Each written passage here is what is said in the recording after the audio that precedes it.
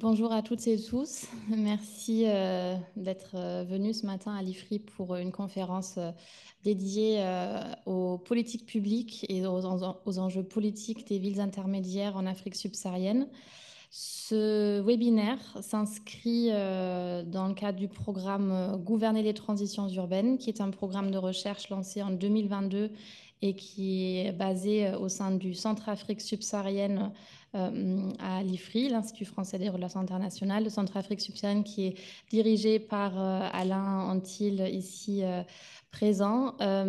Ce, cette conférence est une première en termes de discussion sur euh, les villes de taille intermédiaire qui, sur le continent africain, euh, grandissent euh, à une rapidité plus importante que les villes capitales économiques dont on parle beaucoup, comme par exemple Lagos, Kinshasa, Dar es Salaam, et qui connaissent des taux de croissance qui s'articulent autour de 3 à 4% Certaines villes dites de taille intermédiaire ont des taux de croissance qui peuvent aller jusqu'à 9 voire 10% par an.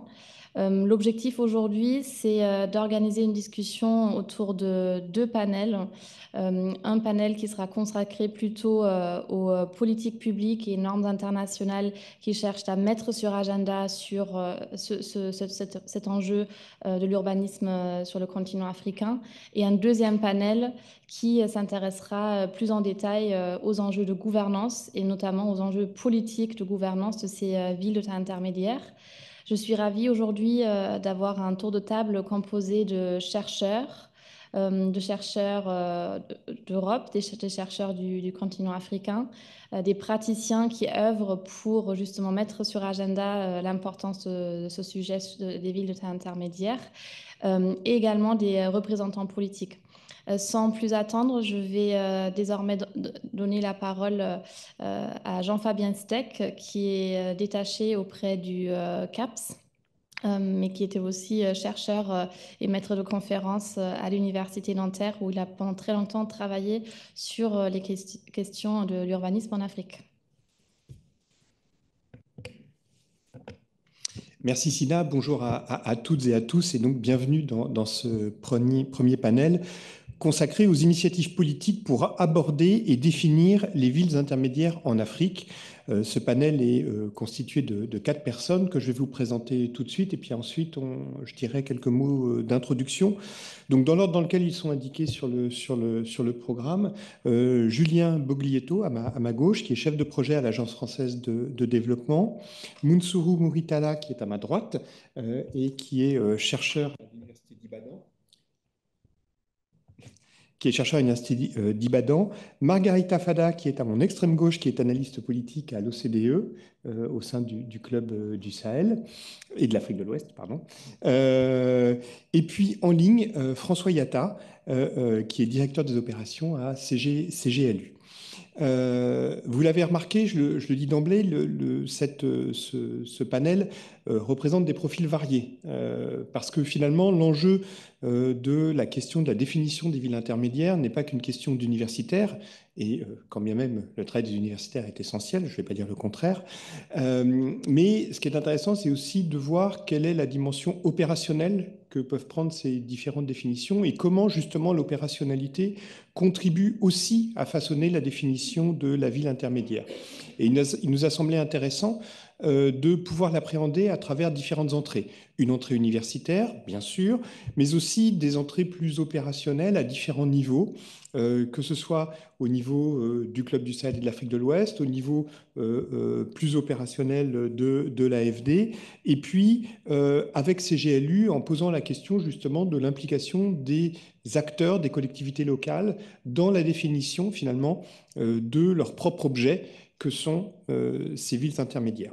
Alors, je ne vais pas être trop long dans mon propos introductif, parce que euh, l'objectif de, ce panel, c'est justement d'entendre nos intervenants. Mais je voudrais quand même revenir très, brièvement sur ce qui justifie cet intérêt euh, que l'on a pour les villes intermédiaires et finalement la, logique de, ce panel. Les villes intermédiaires, c'est intéressant d'ailleurs parce qu'il y a toute une série de mots qui peuvent être utilisés pour les définir, villes secondaires, petites et moyennes villes. Bref, on a pas mal d'entrées différentes et qui disent toutes quelque chose de la façon dont on appréhende ces villes. Villes petites et moyennes, on va plutôt se situer dans une entrée démographique, avec des seuils qui vont toujours poser problème, et c'est quelque chose qui a été bien appréhendé par le Club du Sahel, notamment avec la définition d'un seuil à 10 000 habitants comme étant le seuil, seuil, si j'ose dire, euh, pour, pour, définir, pour définir ces, ces, villes et la façon dont on, dont on les appréhende. Villes secondaires qui posent la question de leur position secondaires dans une hiérarchie urbaine où elles auraient un rôle secondaire, et puis ville intermédiaire qui euh, euh, propose une approche plus dynamique et qui est évidemment celle que l'on appréhende aujourd'hui, où finalement on va essayer de croiser à la fois euh, la position dans la hiérarchie urbaine, qu'elle soit démographique ou fonctionnelle, mais aussi en insistant d'abord sur le rôle que jouent ces villes dans le fonctionnement des systèmes et des réseaux urbains avec l'idée justement qu'elles ont un rôle essentiel à jouer dans la structuration et l'organisation des territoires. Et que de ce fait, l'appréhension de ces villes dans un contexte régional, euh, voire national, voire continental plus ample, est absolument nécessaire pour comprendre euh, les fonctions qui sont les leurs et le rôle qu'elles peuvent jouer dans les jeux et les enjeux euh, de, du développement. Elles sont de ce fait un enjeu majeur de la réflexion qui se conduit maintenant depuis une quinzaine d'années sur les articulations entre politique de développement au sens large et politique d'aménagement du territoire au sens large également, où finalement, euh, si pendant longtemps on a cru devoir attirer l'attention sur le rôle des métropoles comme étant des espaces structurants, on voit très bien que ce rôle structurant des métropoles euh, ne peut pas permettre euh, justement de conduire une réflexion sur ce qu'est un aménagement que l'on veut inclusif. Et on ne va pas, on va pas, se, cacher, hein, euh, c'est un, enjeu qui est encore un défi particulièrement important, et donc du rôle que les villes intermédiaires peuvent et doivent jouer là-dedans. Donc voilà quelques, quelques éléments de, cadrage. Et à, travers ces quelques éléments, j'espère que l'on voit bien d'emblée combien la question de la définition, de l'appréhension de ces villes intermédiaires est un enjeu finalement politique, là encore au sens large du terme, policy and politics, euh, particulièrement important parce que justement, en fonction de la définition qu'on leur donne, eh bien finalement, on va pouvoir appréhender des politiques euh, d'aménagement, des politiques qui vont permettre de les, de les, prendre, de les prendre en charge. Voilà, je ne vais pas être plus long. L'idée était juste de rappeler quelques éléments qui étaient déjà d'ailleurs euh, inscrits dans la note de cadrage euh, qui avait été rédigée par, par Sina. Et puis je vais donner la parole aux, aux, différents intervenants du panel pour 12, 15 minutes grand maximum chacun euh, afin d'alimenter de, de, de, le, débat euh, que nous allons avoir euh, dans, dans, les minutes qui suivent. Donc je vous propose de façon extrêmement originale de suivre finalement l'ordre des, des, comment dire, des, des, noms tels qu'il est indiqué sur la, sur la diapositive. et donc, je passe sans plus attendre la parole à Julien Boglietto. Merci beaucoup.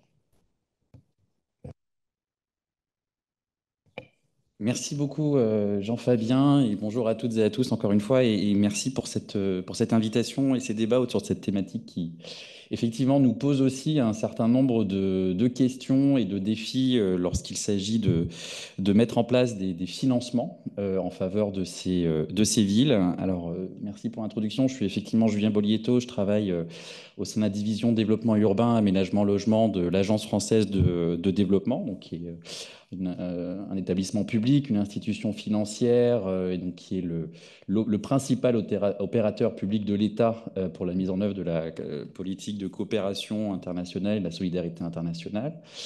et il se trouve que je co-anime avec un certain nombre de collègues en interne une réflexion, plutôt un exercice de capitalisation en fait sur 20 ans d'intervention, c'est-à-dire de financement en fait à destination de ces villes intermédiaires.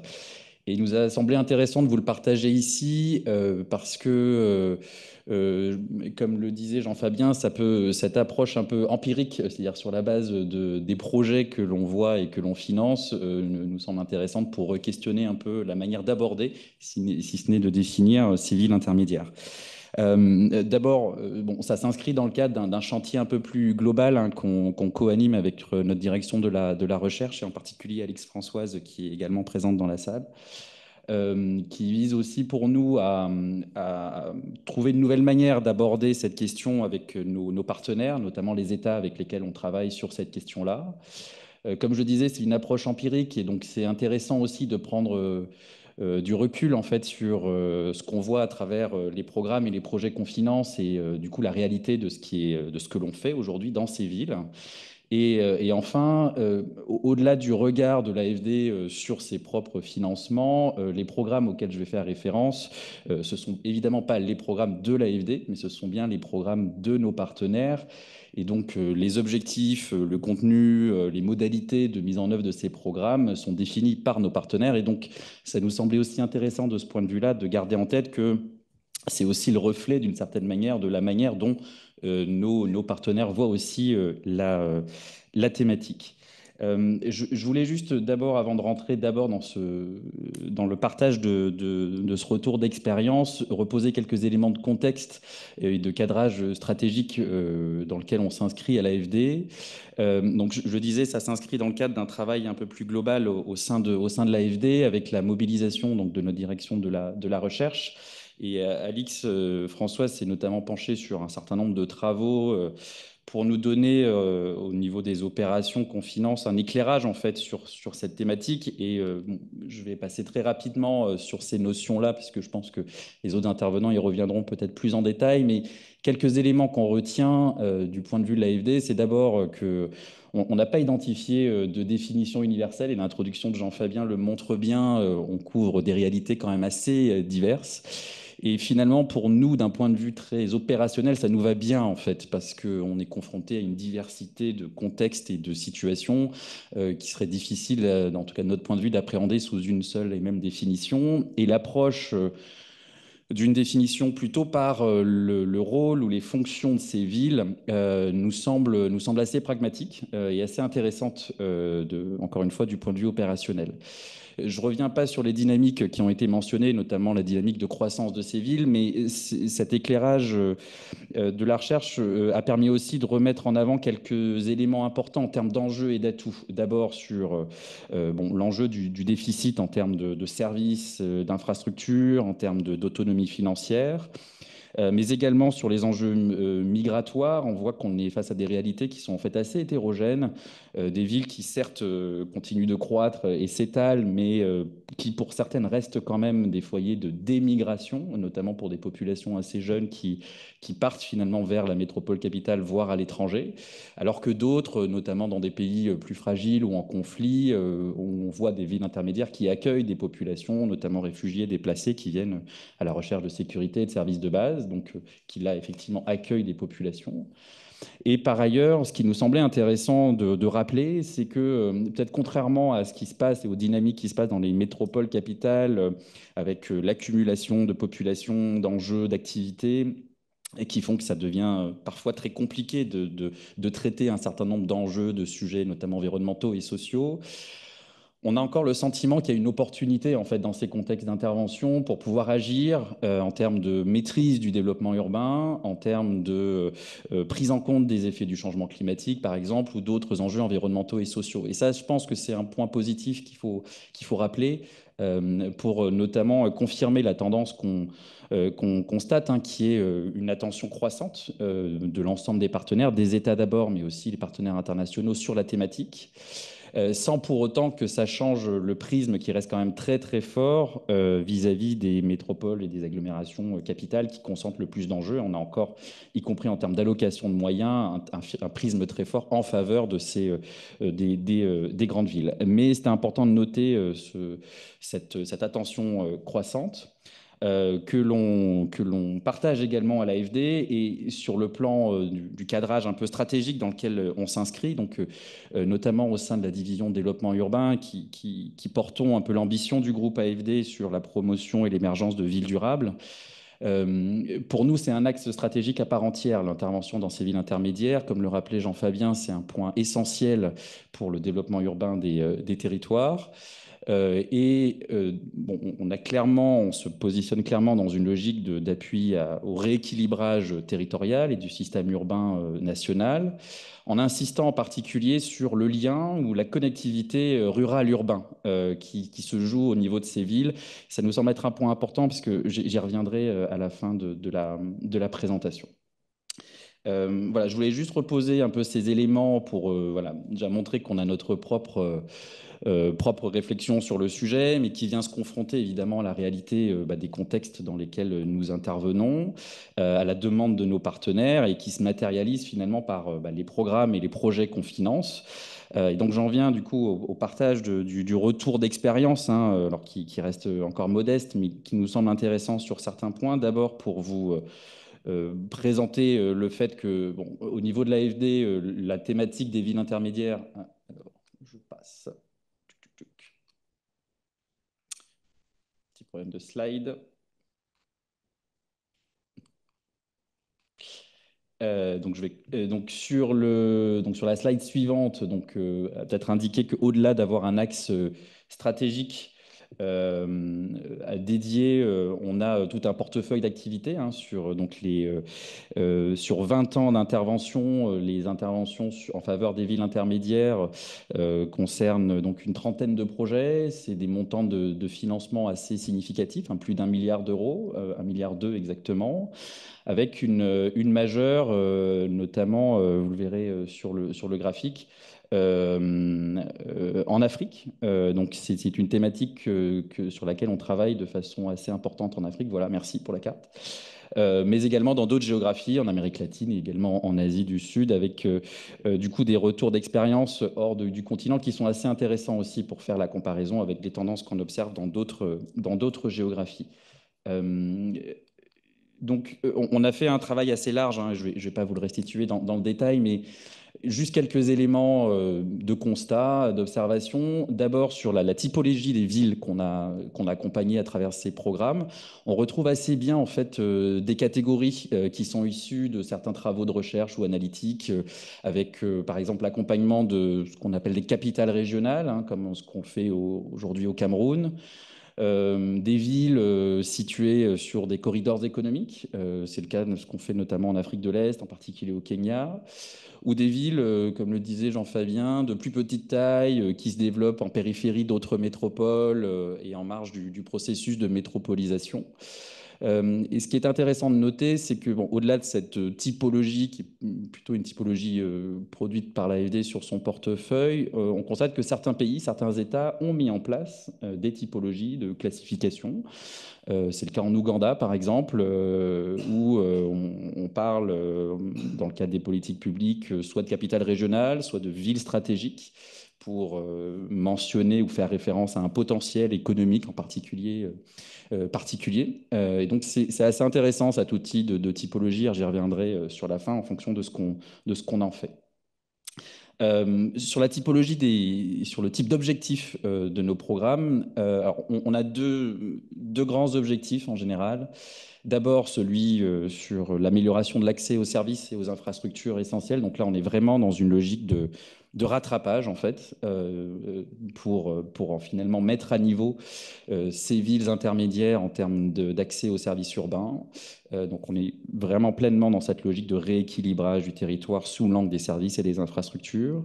Et un deuxième objectif très fort et très, très important, qui est le soutien au développement économique et à l'emploi. Et là, l'idée, c'est vraiment de travailler justement à l'émergence de pôles économiques qui vont contribuer au développement économique de l'ensemble du territoire national. Donc ces villes sont vraiment vues comme dans, de nombreux cas comme des, pôles de croissance euh, économique et qui, en général, ces deux objectifs sont accompagnés d'une part par un objectif transversal hein, qui se retrouve de façon constante euh, sur l'ensemble de nos opérations, qui est un objectif de renforcement de capacité euh, des acteurs, et en particulier de l'acteur ville, mais pas que. également, les, services de l'État sont, souvent concernés à travers nos programmes.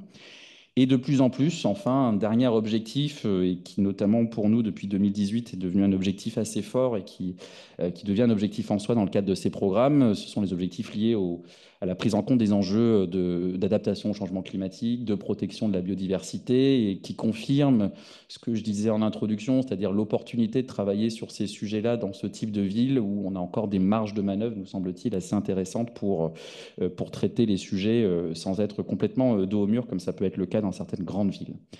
Et enfin, pour vous donner juste une idée plus précise et concrète de ce qu'on finance à travers ces, ces programmes en termes d'investissement, bon, c'est en gros, il y, a, trois grands types, de, trois grandes catégories d'investissements. des investissements euh, de voirie urbaine, euh, de réhabilitation, de construction de voirie urbaine, d'équipements marchands. Donc, c'est en général des, marchés, des abattoirs. Donc là, on est vraiment dans une logique de soutien au développement économique local à travers ces infrastructures et d'autres types d'infrastructures ou d'équipements en faveur du, drainage notamment, ou euh, des équipements de proximité, des espaces publics, dans une logique d'amélioration du cadre urbain et d'amélioration de, la résilience aux effets du changement, euh, du changement climatique.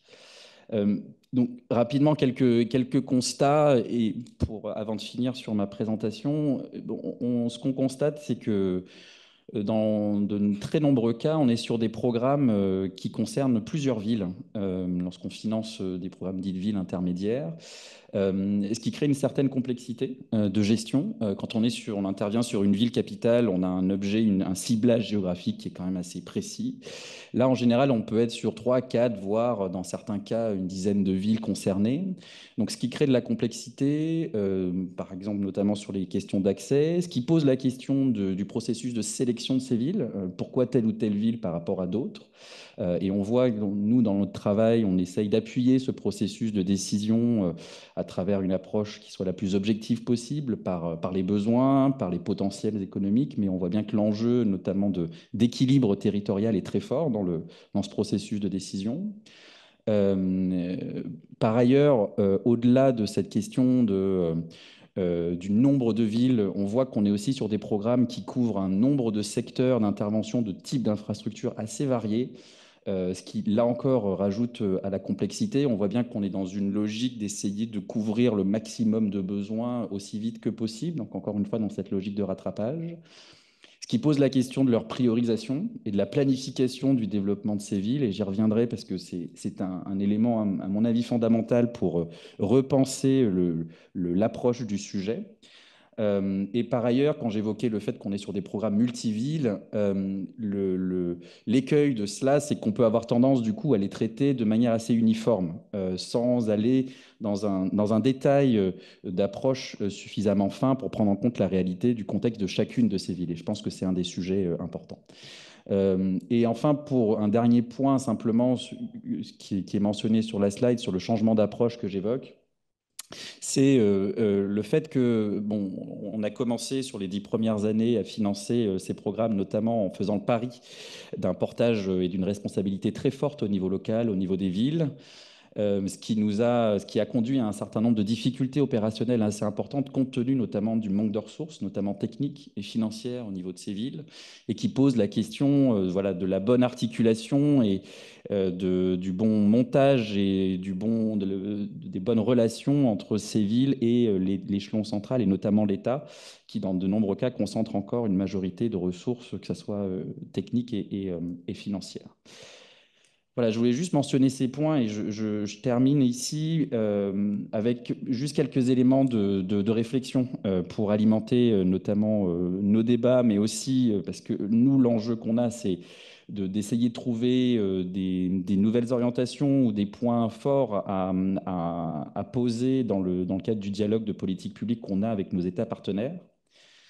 Euh, ce qu'on constate et ce que j'évoquais quand on est sur des programmes euh, multisecteurs, euh, multi-infrastructures, multi-investissements, c'est que cette notion d'interface urbain-rural, finalement, on arrive assez peu à la développer. en tout cas, nous, du point de vue de l'AFD et des programmes qu'on finance, c'est un sujet sur lequel on pense qu'on pourrait faire aller plus loin et qui nous semble être une des caractéristiques importantes de ces villes intermédiaires.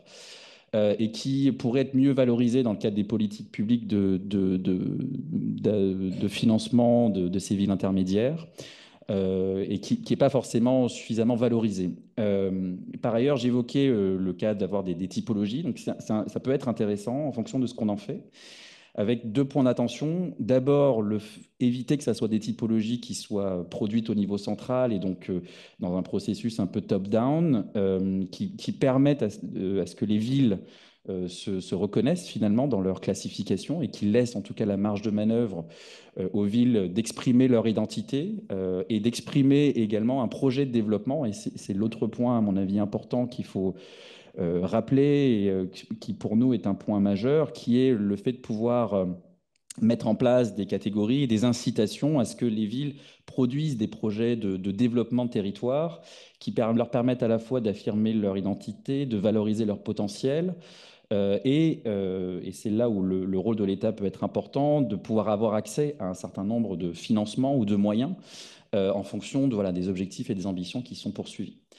Et euh, enfin, un, dernier point euh, qui, nous semble important, euh, on voit bien que dans un certain nombre de pays, on est encore au milieu du guet sur les enjeux de décentralisation. Je parlais du manque de moyens, mais c'est un point qui reste encore extrêmement important. on n'arrivera pas à poursuivre ce développement de ces villes sans des moyens plus importants au niveau local et en rappelant que voilà, une bonne décentralisation, c'est aussi euh, une bonne déconcentration des services de l'État au niveau local et, qu'il ne faut pas forcément opposer, puisqu'on peut parfois avoir l'impression qu'il y a une sorte d'opposition qui se crée entre l'émergence de ces villes intermédiaires dans le territoire et l'État au niveau central, alors que les, deux doivent aller de pair et justement l'émergence de ces villes intermédiaires peut être aussi un moyen pour l'État de, se rapprocher de territoires euh, euh, au sein du territoire national.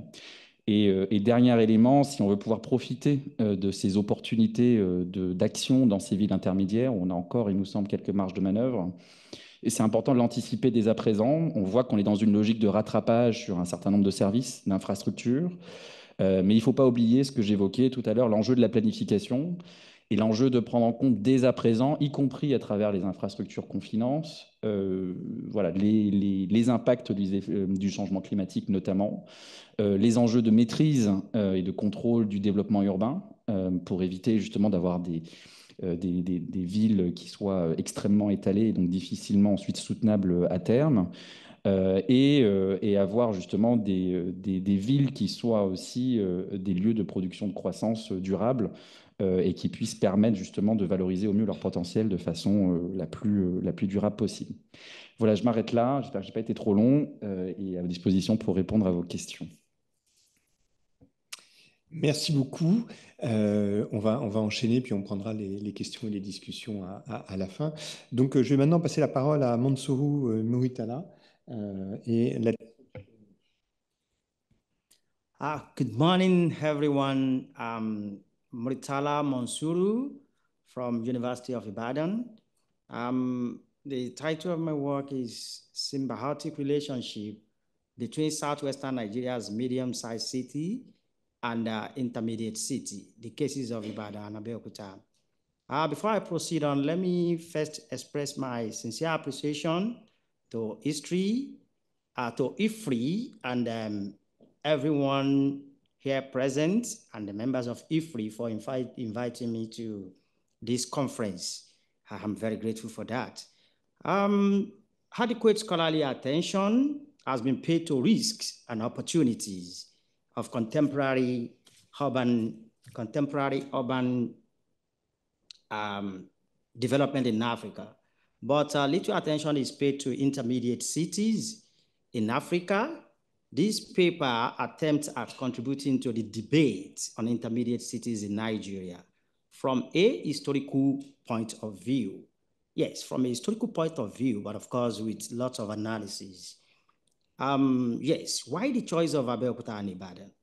Abeokuta and Ibadan feed into two classes of cities. Abeokuta belongs to the pre-colonial urban formation, uh, specifically a town that emerged in 1830 through the consolidation of several Egba villages and towns destroyed in the preceding decade of the allied forces of the Oyos, Ifes, and Ijebus in the 19th century. You know, summarily put, Abeokuta emerged after the Yoruba internecine wars of the 19th century. Ibadan, though had been in existence before colonial period, it was transformed into a city during the colonial period. Abeokuta is a capital city of Ogun State in Nigeria, while Ibadan is also a capital city of Oyo State in Nigeria. The population of Abeokuta, aha, this is a map showing the city of Abeokuta. It has two local governments. The population of Abeokuta is currently estimated at 571,000. Why Ibadan, the largest indigenous city in Nigeria with uh, 3,080 square kilometers, currently population is estimated at 3,875,000. Uh, this is the map of Ibadan. Ibadan has 11 local governments, out of which five is uh, uh, urban centers, and the remaining six are rural and semi-urban centers.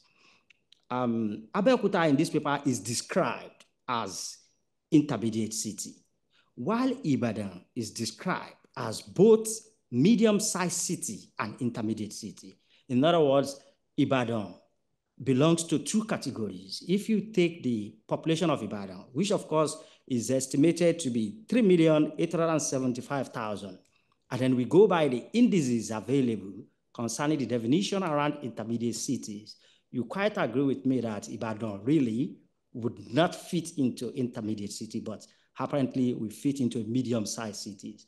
But of course, is having to uh, uh, position in the hierarchy of cities here because of my belief in dividing cities using functionality and character, character approach. Yeah, so this brings us to the definition of intermediate city. Um, yeah, I want to show you. Sorry. Uh, this brings us to the definition of intermediate city. Um, intermediate cities are generally defined as cities of the urban networks between large and small cities, counting between 50,000 and 1 million dwellers, according to UCLG Africa.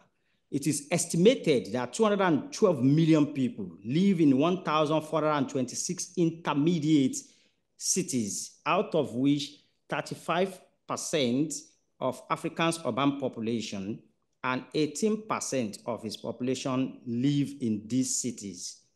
N many cities in Nigeria fall within this description. Next slide, please. Uh, if you look at this, uh, this is the commercial area of Abeokuta City. The first one that preceded this uh, is the uh, a picture of the traditional quarters, what it used to be before the transition to this. And then we have the two together. But of course, this is the commercial area. Next slide. Next slide, please. Ah, this is Ibadan. You know, the traditional quarter of Ibadan is usually referred to as the Rusty Roof City. Next slide, please. Aha, this is the commercial center, Dugbe, a central business district of Ibadan. Next slide, please. Yes, now we have Nigerian cities demographic data. If you look at this data, we have many of the cities. If we take the definition of using the indices, I mean, or that index of between 50,000 and 1 million dwellers to classify an intermediate cities, we seem to have a lot of them in Nigeria. And then, of course, the United Nations suggests that, well, uh, cities population can be between 20,000 and 500,000 inhabitants. If we apply this United Nations position too, we have a lot of them in Nigeria. But the truth of the matter is that, well, if uh, uh, my, uh, the truth of the matter is that uh, we cannot afford to rely, you know, on the use of population index in determining intermediate cities. But rather, I, I argue in my paper that some cities are defined as intermediate based on their functional characteristics, yeah, such as playing a strategic role between rural area and urban networks and having a strong influence on their interland, the region, and the whole country. Intermediation, intermediation therefore focuses on the interaction between a given city and its surrounding environment. It could be immediate or remote. This position, no doubt, explains the strong nexus between the city of Ibadan, Abeokuta and the mega city of Lagos. I mean, this partly explains the reason why I have the work titled Symbiotic Relationship between Southwestern Nigeria's medium-sized city and intermediate city, the cases of Ibadan and Abeokuta. Abeokuta, by the population, is an intermediate city. Ibadan, by the population, will fall into the medium-sized city. But when you bring it into functionalities, as in how strategic they are to their environs and, I mean, their region in terms of providing economic support, social support, then Ibadan will be an intermediate city using the functional characteristics approach. And um, one thing is that, uh, like from the previous, uh, uh, from the previous Yes, slide. Yeah, this slide where we have the demographic data. We have cities that are far, far, far. I mean, they have they are above the uh, um, the population index, and so they can be classified as intermediate cities, but they are unknown because of the primacy of the capital cities. Attention most times are on the capital cities because uh, uh, these cities they are not officially captured when it comes to statistics. And as such, people don't actually know their contribution to economic development. But in the real sense of it, they contribute a lot to gross domestic product. They contribute a lot to economic development of regions. They contribute to economic development of states. But because uh, uh, they are not captured in official data, they are mostly referred to as rural rural areas. They are mostly referred to as rural areas. So Abeokuta and Ibadan belong to the strategic intermediate cities that serve as services, manufacturing, or market centers for trading local goods and products. They offer complementary roles in terms of mobility of labor, movement of goods, and commercial support to the city of Lagos. Um, capital cities, you will call them, and then you might be wondering, why not go for the lesser uh, uh, cities, cities that are not capital? I mean, given your demographic uh, display, the data that you have, yes. But I can, like I mentioned, I said some of these cities they are doing very well. They are contributing to the gross domestic product. I give an example of two cases now. There is a city, an industrial city referred to as Agbara. Agbara has proximity uh, uh, to Abeokuta. I mean, is located in the same state with Abeokuta and is the industrial layout city with a population of 525,000. A population of 525,000. So if we use the population index, you know, uh, of, you know, between 20,000 and then 500,000, or we use the population index of between 50,000 and 1 million, it fits into an intermediate cities because uh, uh, Agbara is the only active industrial layout city that we have in Nigeria. And this is what brings out the difference really in the approach of the global north when it comes to hierarchy of cities and the people, I mean, and the global south, the, the people of the sub-Saharan Africa. In the global south, yeah, of course, cities are classified uh, in terms of hierarchy, governments are, I mean, sorry, in the, in the global north, yeah, in the global north, cities are classified based on government involvement, government interventions. But if you come to the global south, it's a different ballgame cities agglomeration uh, settlement pattern are driven by people from below. Yes, policies exist, but most often the policies are ineffective.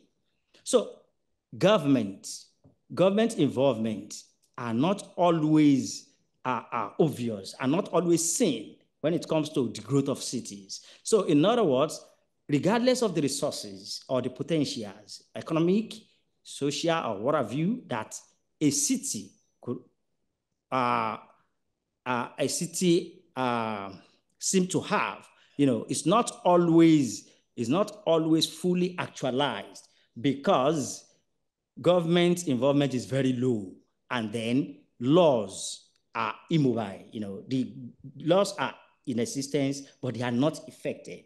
So people actually grow the cities themselves. But like the example I've just cited now, Agbara, Shaki, these, the Shaki is also located very close to Ibadan. And it has been a border town, a city, you know, that has volumes in terms of trading, you know, between the borders of Nigeria and Republic of Benin. But then if you go officially to get statistics, you can hardly find statistics on this city, and yet it's an intermediate city.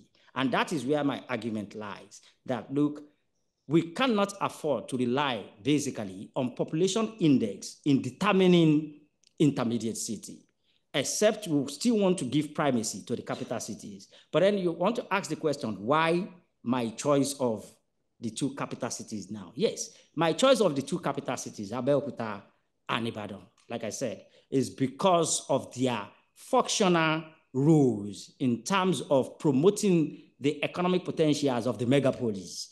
The megapolis that I'm talking about here is Lagos, the city of Lagos. So Abeokuta and Ibadan, they have very close proximity to Lagos, and these two cities have been contributing. In fact, you cannot be talking about the economy of Lagos today in the Southwest, or even in Nigeria as the commercial city, and then you don't make reference to Abeokuta and uh, Ibadan because these two cities, they serve as services, manufacturing or marketing centers for trading local goods and products. And they offer complementary roles in terms of mobility of labor, mobility of labor, movement of goods, and commercial support to the city. And that is, a, that is the more reason why Ibadan is a medium-sized city, is very large in, you know, in terms of position where you're talking about hierarchy of city, it's a medium-sized city, but at the same time is an intermediate city to a megapolis, Lagos. Abeokuta on its own is an intermediate city. Uh, in, in terms of functions, in terms of population, in terms of uh, settlement pattern, Abeokuta is an intermediate city. But then I, I, I, would love to round off on this note that yes, um, there, there has been in existence and there exists urban policy laws, but then there is need for uh, uh, government involvement, you know, uh, uh, in the implementation, where the politics lies is that it has always been a top to bottom approach thing.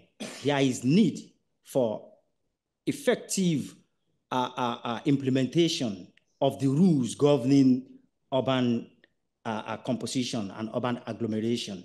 Most often, government will determine, draw, give a layout of a city on the paper with beautiful laws, but the laws are immobile. And as a result of that, instead of the cities to be driven by government policies in order to realize and tap the inherent potentials associated with the city in terms of natural resources, in terms of the environment, people would rather drive. It's people that drive the city, and then you begin to see emergence of shanties, you know, disorder, settlement pattern, and you know, uh, um, total neglect or total uh, underutilization of the inherent resources. So uh, I want to conclude on the note that um, intermediation will make sense if policies and initiatives are government driven and effective, and that uh, uh, the city of Abeokuta and Ibadan, they have been playing uh, uh a kind of symbiotic roles to the megapolis, that is Lagos, in terms of, you know, economic uh, growth, in terms of mobility of labor. And that is why we have, if you move, uh, sorry, we have, okay, this is, um, if you look at this, this is the traffic situation in Abeokuta. Um, then we have something like this in Ibadan as well. Uh, that, um, this is the train station that has just been built uh, in Ibadan. I mean, we have between uh, uh, nine, uh, um, 900 and um, I mean, uh, to between 900, you know, on a daily basis, 1,008, you know, we move from Ibadan to Lagos, 1,008 will come back. Then you have This one too in Abeokuta is a modern trade station to facilitate the mobility of labor because Ibadan and Abeokuta, they are two good sources of labor, uh, uh, all classes of labor to Lagos, which is a megapolis. And that is the connection, that is the nexus, apart from the road. And like I, I mean, then as displayed, you know, initially you see the, you could see the roads in terms of road network, the Lagos Ibadan axis is considered to be the busiest, the most busy urban corridor in West Africa. So uh, uh, uh, my conclusion is that intermediation will make sense if policy and initiatives are government driven and effective, and that Ibadan, Ibadan and um, Abeokuta are treated as intermediate cities and medium-sized cities because of their economic support to the megapolis, Lagos. Thank you very much. Thank you very much. And uh, let's uh, switch to Margareta.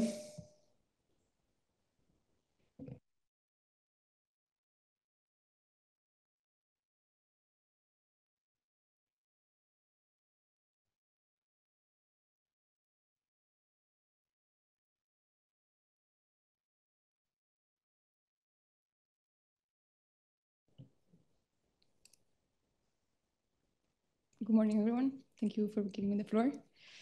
Um, I'm also going to speak in English, uh, but I'm happy to exchange in French afterwards. So um, I'm a junior policy analyst at the Sahel in West Africa Club.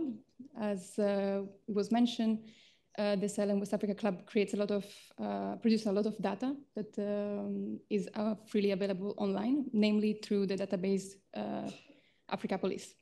So what I'm going to try, I'm going to try to approach um, uh, the, the, the, discussion uh, first by defining what an urban agglomeration is according to the, to the club and, uh, and Africapolis, and then to identify what intermediary cities uh, are and how they're discussed in, the, in our reports.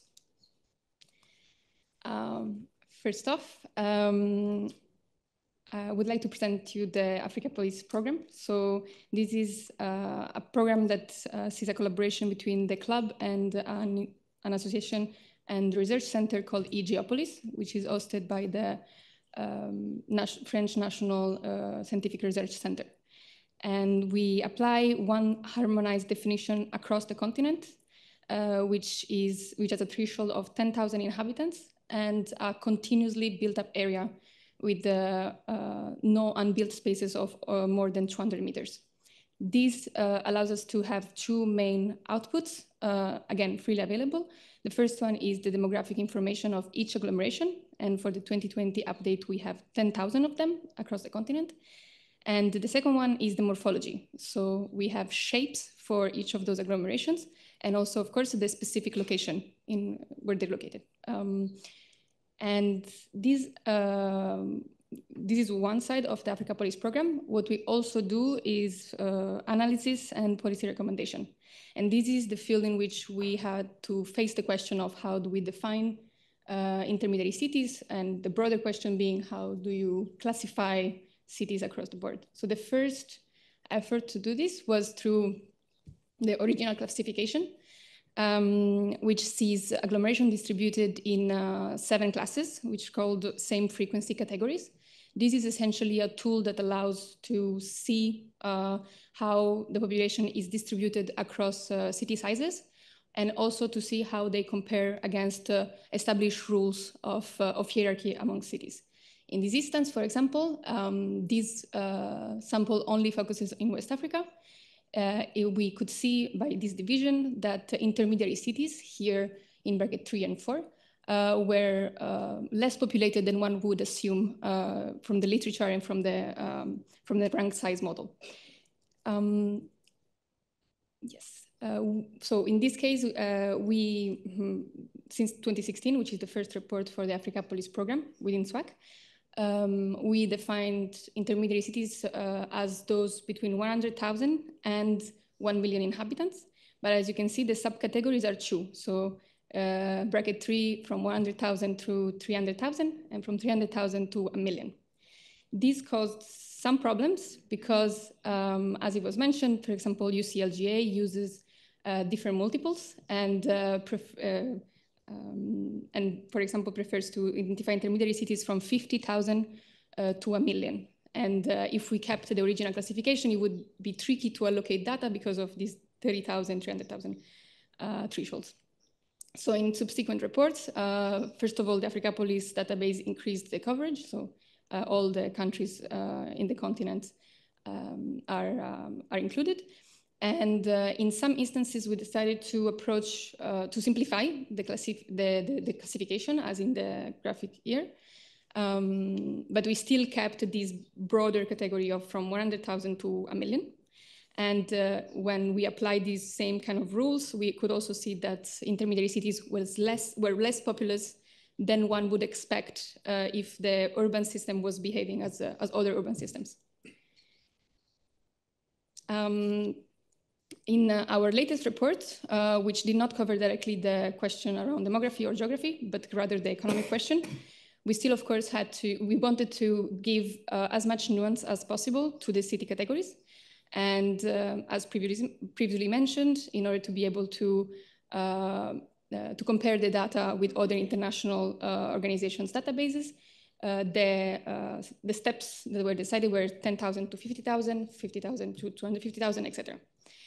Um, these um, essentially there had to be a trade-off between uh, the number of classifications that I want to give, because otherwise the information is completely illegible.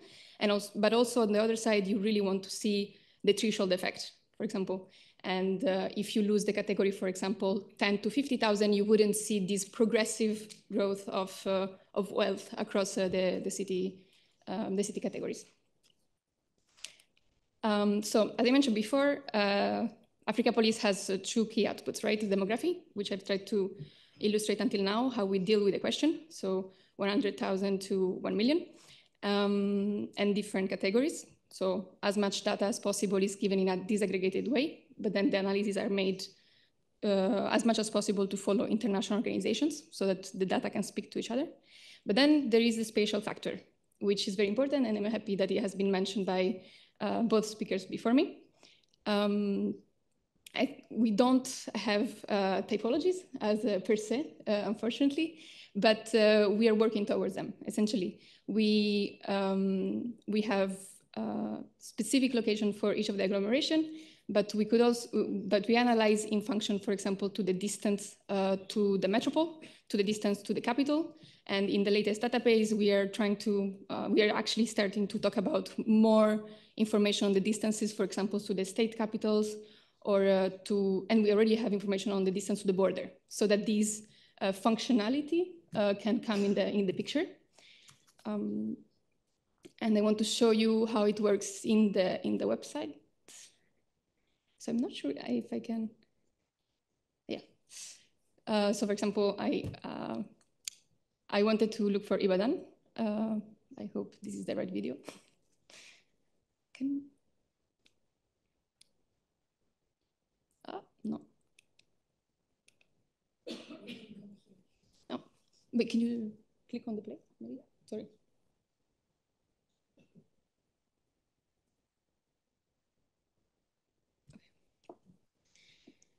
Um, and so, for example, in the Ibadan case, you can see that here's located. Actually, the city right to the south is uh, the uh, intermediary city uh, that was just mentioned.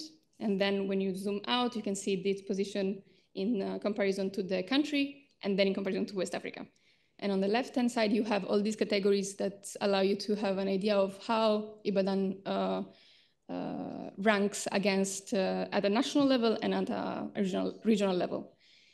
The interesting part here um, is, uh, the message, I guess, is to say that the classifications can really vary according to what one, what one wants to do.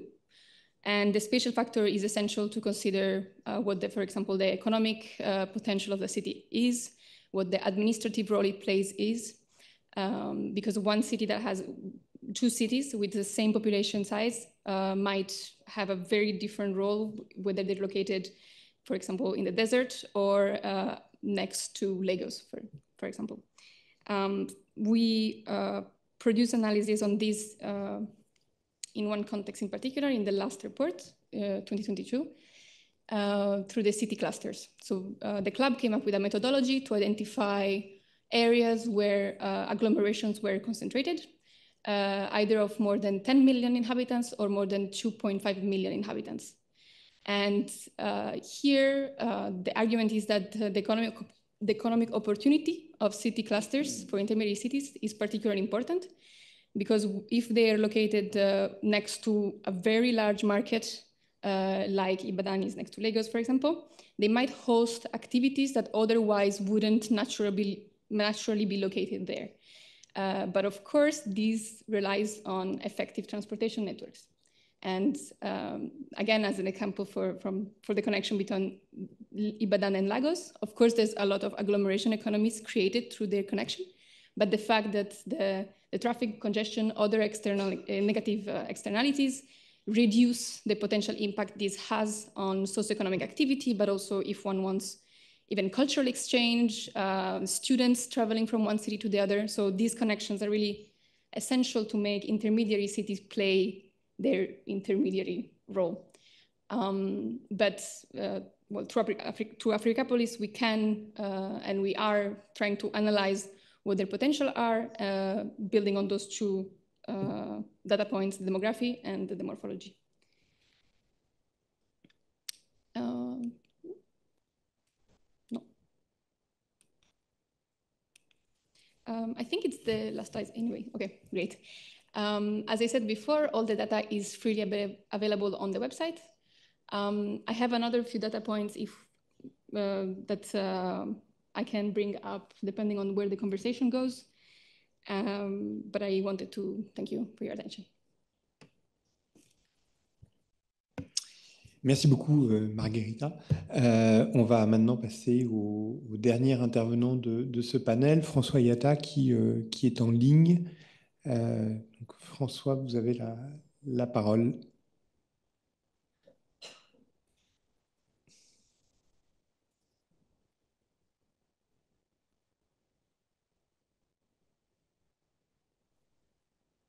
Bonjour, j'espère que vous m'entendez bien.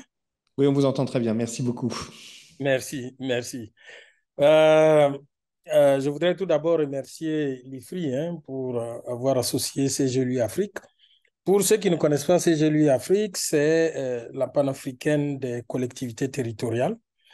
Il y a exactement 14 972 collectivités territoriales en Afrique, euh, dépendant des processus de décentralisation dans les pays. Donc, vous avez des villes, des communes, des régions, des provinces, euh, vous avez même des départements dans certains pays. Et donc, c'est de tout ça qu'il s'agit. Alors, euh, le thème des villes intermédiaires pour nous est, crucial. Crucial pourquoi? Parce que comme vous le savez, euh, les villes intermédiaires sont celles qui vont assurer l'essentiel de la croissance euh, de l'urbanisation dans les prochaines décennies. juste pour figurer, à partir de 2010, il y a eu un shift dans le trend de la, de la croissance de la population urbaine en Afrique, qui était avant euh, euh, menée par les villes capitales. Euh, de plus en plus aujourd'hui, ce sont les villes secondaires, ce qu'on appelle les villes secondaires, les villes intermédiaires, qui font l'essentiel de cette croissance de la population urbaine. au point où tous les analystes et toutes les données estiment que dans les 20 prochaines années, euh, plus de deux nouveaux urbains sur trois iront s'installer dans les villes intermédiaires. Voilà. Alors, euh, en termes de définition, les villes intermédiaires, euh, pour nous, pour ces élus, hein, au niveau mondial, c'est entre 500 000 habitants et 1 million d'habitants. Bon, évidemment, dans cette fourchette très large, il sera difficile de comparer la taille des villes intermédiaires euh, au Nigeria, par exemple, et la taille des villes intermédiaires au Niger, hein, qui ont des niveaux d'urbanisation et, de croissance des villes vraiment très différents. Et c'est pourquoi je suis d'accord avec la plupart d'entre vous qu'il faut plutôt privilégier le rôle euh, que font ces villes-là dans euh, l'architecture urbaine au niveau national. Et, et, donc, plus les, les, villes capitales assurent la connexion avec le marché mondial, avec l'international, plus les villes intermédiaires sont beaucoup plus axées sur euh, euh, leur rôle vis-à-vis de leur territoire, de leur interland et euh, le, le, le, le, rôle de, de, facteur de développement économique et de fournisseur des services publics de premier ordre à leur, à leur interland. Alors, quel a été le rôle euh, de CGLU Afrique dans la mise, euh, je dirais, en, œuvre de l'agenda international des villes intermédiaires? Euh, Il y a une dizaine d'années que CGLU Afrique, en collaboration avec CGLU, beaucoup plus, je dirais, tiré par CGLU, a compris l'importance des villes intermédiaires et leur rôle particulier, aussi bien dans l'urbanisation que dans la fourniture des services euh, au niveau des populations urbaines. Et donc, c'est pourquoi euh, CGLU a créé euh, une commission, un groupe de travail sur les villes intermédiaires. Et nous avons beaucoup œuvré à la dynamisation de, ce, de, ce, de cette commission. Et c'est ainsi que le premier forum régional Afrique des villes intermédiaires, nous l'avons organisé en 2017 à Audéné, en Côte d'Ivoire, où pour la première fois, nous avons inviter les institutions internationales pour justement discuter euh, euh, de la place et, des, problématiques que rencontrent ces villes-là, qui sont généralement euh, oubliées par la plupart des politiques publiques, mais qui ont, ont par contre des, besoins énormes en termes de financement, compte tenu de l'importante population qu'elles absorbent. nous avons été partie prenante dans l'organisation du premier forum mondial des villes intermédiaires qui s'est tenu en 2018 à Chefchaouen, euh, au Maroc, où euh, ça a été vraiment l'occasion de discuter avec les organisations internationales, les gouvernements nationaux et régionaux, et, et, même les institutions d'intégration euh, au niveau panafricain sur le rôle et la typologie de ces villes-là.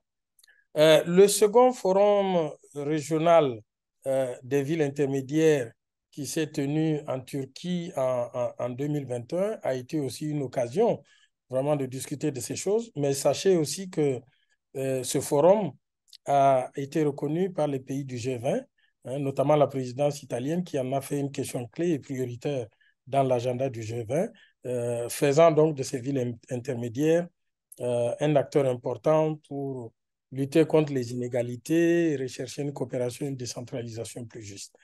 Et enfin, toujours dans l'effort que CGLU Afrique développe depuis des années pour mettre les villes intermédiaires au top de l'agenda international, vous savez que le dernier sommet Africité euh, en 2021 à Kisumu au Kenya a eu comme thème la contribution des villes intermédiaires d'Afrique à la mise en œuvre de l'agenda 2030 des Nations Unies et de l'agenda 2063 de l'Union africaine. Donc, ça a été là aussi une occasion de discuter de la spécificité des villes intermédiaires et des différents appuis qui peuvent être apportés pour que ces villes intermédiaires soient plus justes, plus résilientes, étant donné qu'elles euh, seront probablement l'indicateur ou non de l'atteinte des objectifs euh, de développement durable dans les villes, en Afrique en tout cas, compte tenu de l'importance euh, qu'elles ont dans euh, euh, les armatures urbaines nationales.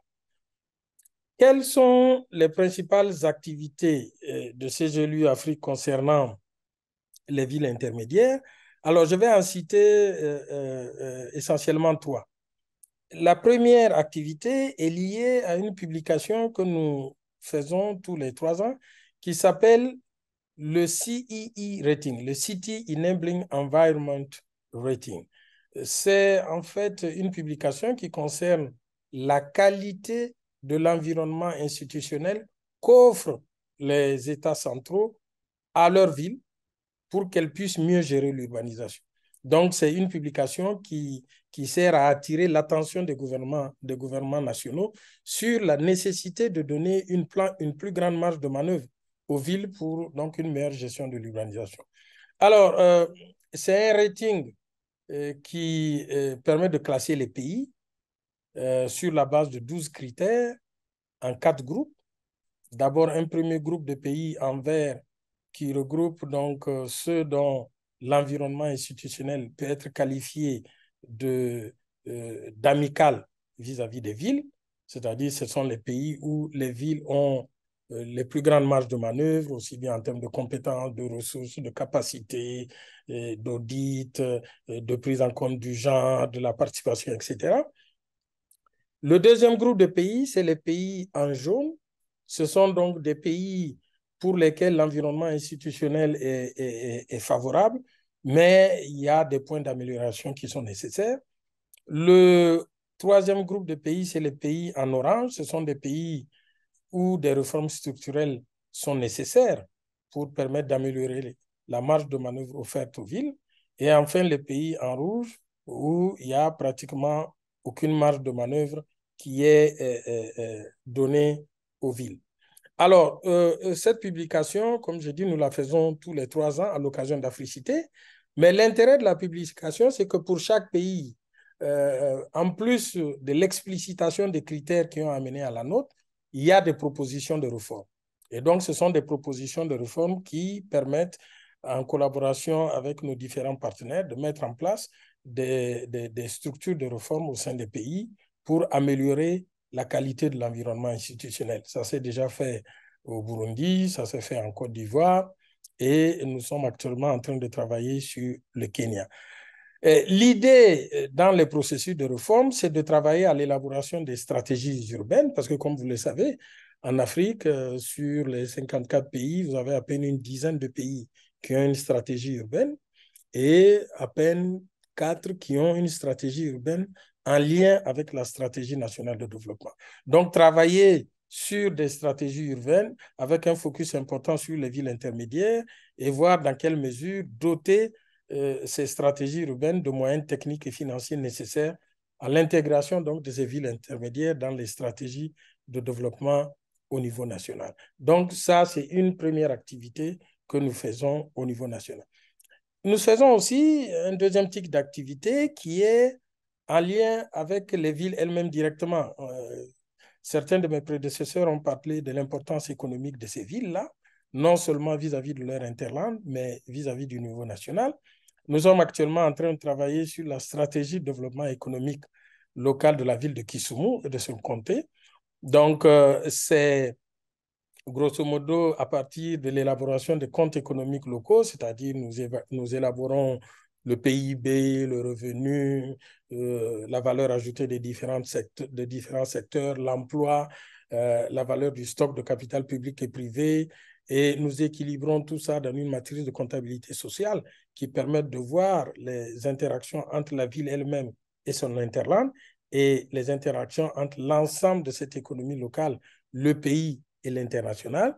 Donc, à partir de ces comptes économiques, identifier des leviers d'action sur lesquels les opérateurs locaux peuvent agir pour changer le devenir de leur territoire. Donc ça, c'est très important pour nous.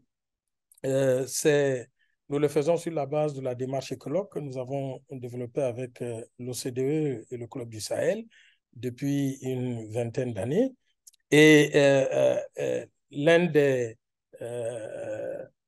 l'un des sous-produits de ces stratégies de développement économique, le Kisumu, c'est d'identifier non seulement les projets privés de relance de l'activité économique, mais aussi les projets publics qui sont donc un préalable à la réalisation de ces, de ces projets privés. Euh, revenant un peu à, à l'importance de l'ancrage des villes intermédiaires sur leur territoire, euh, l'un des objectifs que nous avons dans cette stratégie de développement économique local de Kisumu, c'est de renforcer le rôle de Kisumu dans la structuration de son interland comme moteur de développement économique par l'intensification des échanges ville-campagne, notamment dans le, dans le contexte d'une économie locale urbano-centrée autour de la ville. Ça, c'est très important parce que ces villes-là ont une caractéristique propre, c'est qu'elles fonctionnent en binôme avec leur interland. Donc, il, est, il, est, il est vraiment très peu pertinent dans ce contexte de, de parler de projets urbains et de projets ou de projets ruraux.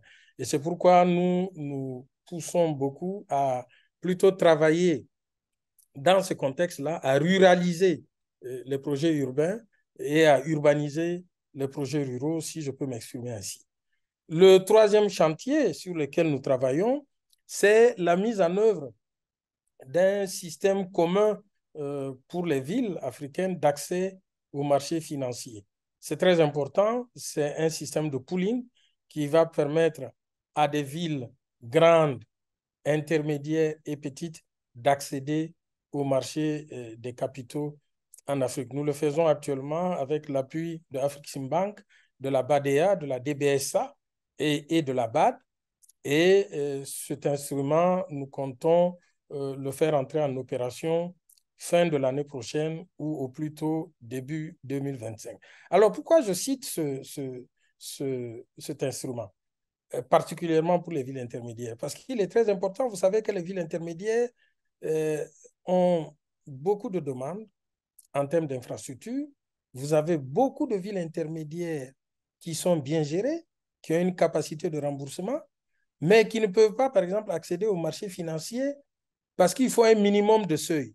Si je prends l'exemple de la BRVM en Afrique de l'Ouest, il faut un minimum de 500 millions de francs CFA pour euh, euh, accéder à la, à, la, à la BRVM, alors que vous avez des villes intermédiaires qui sont très bien gérées, qui ont besoin peut-être de 300 000 habitants, de 300 millions euh, de francs CFA ou de 400 millions de francs CFA, mais à cause de ce seuil, ne peuvent pas aller sur le marché financier régional.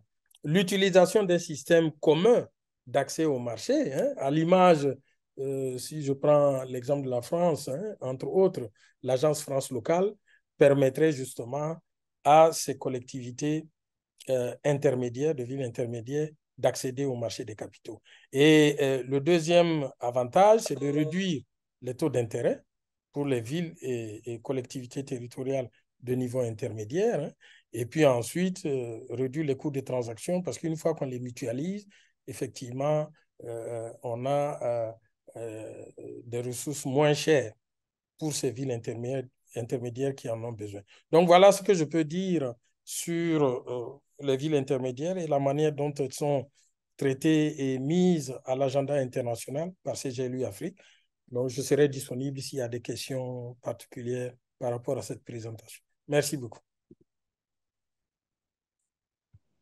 Merci beaucoup, merci beaucoup à, vous quatre pour vos, éclairages et, ces, différents éléments qui, qui nous permettent de, cerner l'ensemble des enjeux finalement qui sont associés à la, définition des villes intermédiaires. Alors évidemment, il y a, ça suscite plein, plein de remarques et, plein de questions. Je ne vais pas monopoliser le micro, d'autant plus que comme je l'ai, je sais que je pourrais parler à la fin. Euh, donc je, propose d'ouvrir d'abord la parole. Allô, oui? Je propose d'ouvrir d'abord la parole euh, aux, questions et, remarques de, l'assistance. Euh,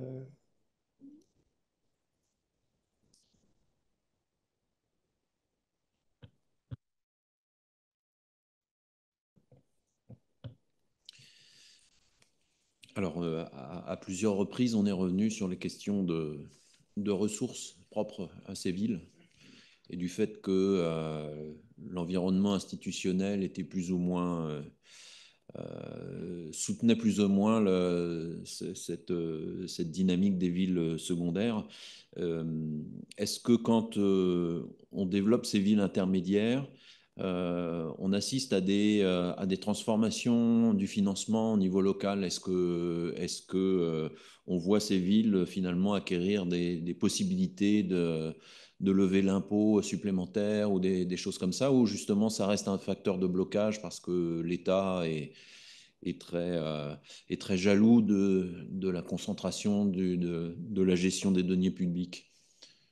Ma, question est un petit peu, euh, désordonnée, mais vous voyez un petit peu où je veux en venir, c'est que c'est effectivement un facteur de blocage, malgré les, efforts de décentralisation et de déconcentration. Euh, les villes, souvent, euh, et plus elles sont petites, plus c'est vrai, ont effectivement un problème de, ressources humaines pour gérer un certain nombre de choses, mais surtout un, problème de, ressources tout court.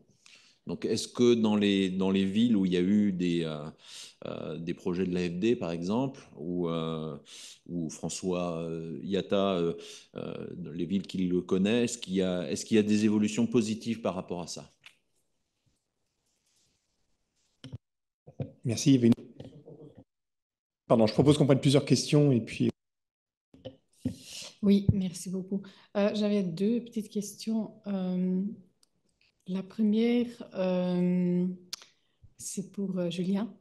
Euh, je voudrais savoir très pratiquement, dans vos collaborations, quand vous parlez de la co-construction, c'est quels acteurs principalement qui sont engagés dans ce processus de co-creation? Donc, c'est une question très pratique. Si on n'a pas le temps, on peut juste aussi en parler euh, à travers le, café. Et l'autre question, euh, c'est pour vous. Euh, je me demandais cette question de définition et de catégorisation. Oh, sorry, in English, yeah. So, um, your question about definition and classifications, I was wondering, like in my case where I do research, this question of classification and hierarchy and definition is very much um, political and it's also very much politicized. So there is a huge political lobby involved in um, definitions, like um, yeah, administrative definitions, because there is so much at stake in how administratively an agglomeration is defined. So I was wondering whether that's also the case and how that relates to your argument. Thank you. Merci, allez-y.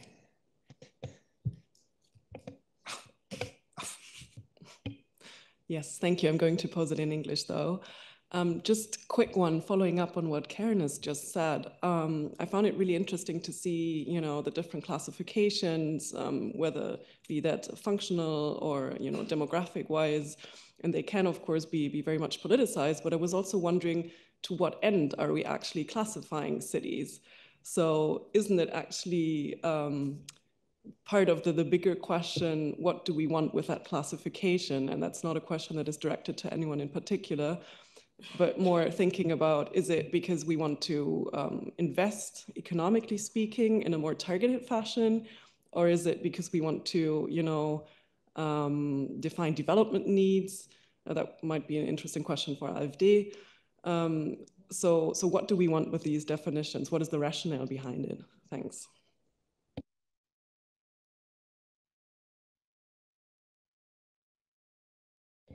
Une dernière, parce que c'est aussi lié. Je pense que euh, côté euh, AFD, à la fois côté recherche, opération, et puis aussi côté CGLU, euh, on voit qu'il y a eu une reconnaissance ces dix dernières années des, villes intermédiaires. En fait, il y a quand même un travail qui a été initié aussi avec euh, l'OCDE, Africa Police, qui a mis en lumière ces villes. Et aujourd'hui, euh, on voit qu'il y a un besoin, qu'il y a des enjeux. Et la question, et c'est peut-être lié à cette question de la classification, c'est comment on avance pour répondre de façon efficace, la plus efficace possible, à ces enjeux qui sont en fait euh, énormes. Si on voit le nombre de villes euh, avec des contextes différents et le nombre d'habitants, et euh, sur lesquels les gouvernements en fait ont un lien direct. Donc pour nous, la question qui se pose, c'est la dernière diapo que, qu'avait faite Julien, c'est la question du dialogue de politique publique avec les gouvernements.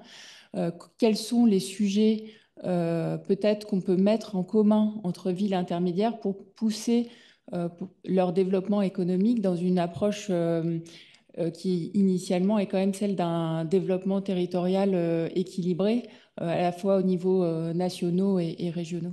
Donc c'est peut-être la question sur, sur cette question politique aussi.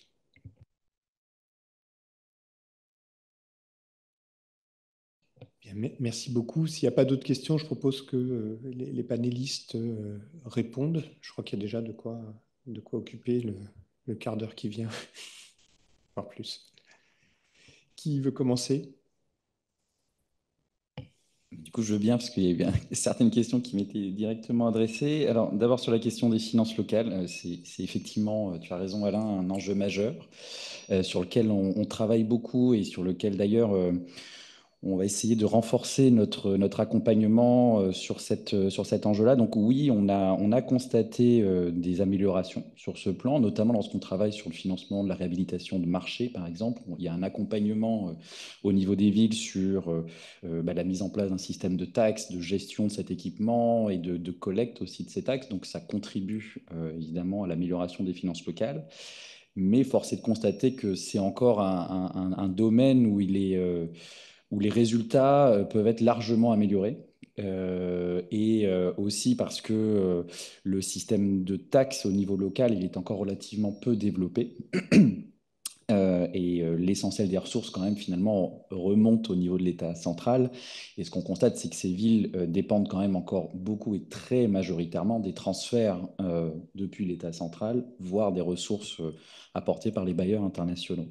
Et donc ça, c'est un, ce déséquilibre-là, il faut effectivement arriver à le combler pour notamment permettre de mettre en place ce qu'évoquait M. Yatta, par exemple pour l'accès au marché financier et leur permettre d'avoir des ressources aussi qui permettent d'avoir des une modalité de gestion euh, euh, qui soit plus robuste.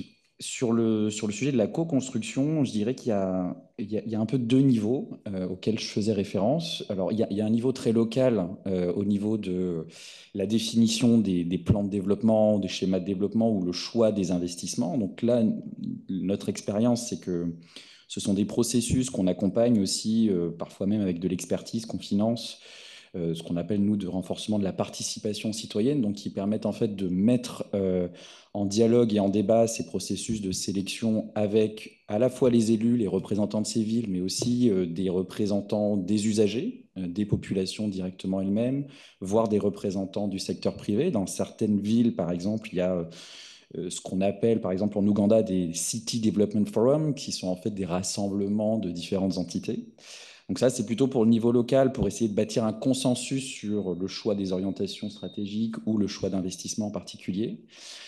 Et après, sur le niveau plus national, justement, pour ces débats autour de, des typologies, euh, euh, ce qui nous semble important, c'est euh, de pouvoir avoir ce qu'on retrouve hein, quand même dans certains pays, des, des, échanges entre les représentants du niveau central, du gouvernement, de l'État et des représentants de ces villes. Euh, que ce soit évidemment euh, les représentants au niveau du conseil municipal, des maires, mais aussi euh, on voit que certains des représentants au Parlement de ces villes sont aussi une voix qui peut être extrêmement, qui peut être extrêmement intéressante. Et donc l'idée, c'est de, vraiment avoir, d'encourager en fait ces moments de dialogue avant la mise en place de ces typologies-là qui sont, et je vais terminer sur la, la, dernière question de mon point de vue, et pour compléter ce que disait Alix, euh, de notre point de vue, les typologies peuvent être intéressantes. Je ne dis pas que c'est forcément la solution à tout, mais euh, effectivement pour euh, permettre d'avoir une priorisation des enjeux de développement. comme le disait Alix, il y a des besoins qui sont considérables. On pourrait passer des années, des dizaines d'années à financer des infrastructures de base. la question, c'est qu'est-ce qu'il faut faire de plus et dans quelle temporalité, qu'est-ce qu'on fait euh, à court, euh, moyen et long terme. Et donc ces questions de typologie, ça peut aussi orienter finalement l'allocation des moyens euh, en fonction de, différentes temporalités. Donc de notre point de vue financeur de développement, c'est un outil qui peut être intéressant en termes de priorisation. après, évidemment, chez nos partenaires, il peut y avoir d'autres enjeux.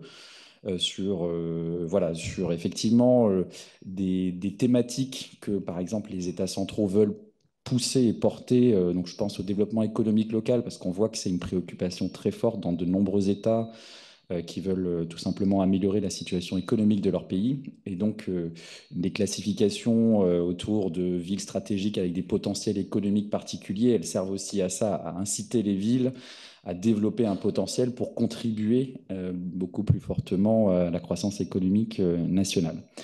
Euh, donc voilà un premier élément de réponse de ma part sur ce point-là. Merci. Qui... Uh, thank you very much. I have two questions directed at me. Um, the first one is uh, on the classification of cities and uh, to actually um, um, comment if uh, administrative definition is uh, uh, the rationale for my classification of cities. Well, uh, I would say yes, on the one hand, because the, the two cities examined in my paper are capital uh, cities. They are administrative cities, quite all right. Uh, but um, the classification is also political, as you mentioned. It's political because being administrative cities, what obtains in these cities are driven by political decisions, political strategies. And to a certain extent, that is what has actually placed the two cities beyond and above other cities within the same region that ordinarily uh, will be better classified as intermediate cities. You know, I cited examples of uh, two other cities. For instance, uh, if you take Abeokuta, one of the cities that I examined, uh, Abeokuta is the capital city of Ogun State. And um, uh, uh, Ogun State has billions of, you know, dollars GDP. But a substantial part of this GDP is from Agbara, an industrial uh, city. But Agbara is not enjoying much scholarly attention as Ogun State because uh, as Abeokuta, yes, the two cities are within Ogun State in Nigeria, but Abeokuta being the capital city enjoys more scholarly attention than Agbara. And then, you know, to get data, you know, on Agbara, there is a, a kind of uh, a paucity of data on that city. And you cannot be talking about industrialization or industrial presence, even in the whole of Nigeria today, without making reference to Agbara, right? And then, like I said, you know, it's a case of uh, Agbara is just a city that is, I mean, being driven, the population of the city, the pull factor actually for the agglomeration uh, uh, uh was uh, uh, actually, it was a case of the presence of the industrial estate. That was the pull factor at the beginning of the growth of the city, that industrial city. But Abeokuta is much more in focus. Abeokuta has more information. Abeokuta enjoys more attention because it's a capital city. So it is because Abeokuta enjoys more of government presence and more of government focus, more of government finance. But industrialists are the people that are pushing Agbara. And then when it comes to agglomeration, it is people driven because people want employment. They are they move into the area that offer uh, uh, employment. So the, the, the classification is administrative. Then, I mean, if you take the case of Ibadan too, Ibadan has always been uh, an administrative headquarters, you know, even from the colonial period and even up to now. Ibadan is the capital of Oyo State. And Oyo State has close proximity to Lagos.